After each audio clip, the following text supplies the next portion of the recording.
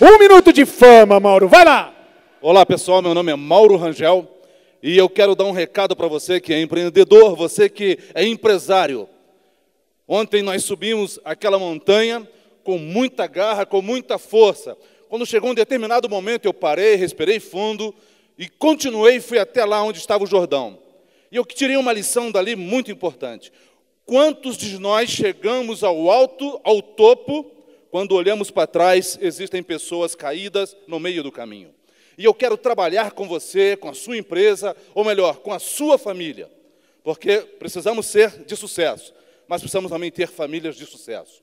Rapazes e moças que sejam comprometidos com a vida. Não é só acompanhar o que o pai faz, o que a mãe faz, mas que eles também saibam que estão sendo bem cuidados. Sou terapeuta familiar e quero ajudar você, porque olha só, quando você é um empresário de sucesso e tem uma família também de sucesso, meu amigo, o seu sucesso é garantido e é verdadeiro. E o seu funcionário também precisa do cuidado da sua família.